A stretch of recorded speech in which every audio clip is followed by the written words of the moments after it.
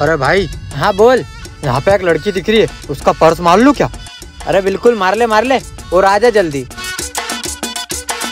चोर चोर रुक। चोर मेरा बैग लेके जा रहा है चोर। भाई मैं पर्स मार के आ गया। और उसमें पैसा बहुत लग रहा है। बाकी वो लड़की पीछे पीछे आ गई है। तू काय को टेंशन ले रहा है? उसको तो मैं दे।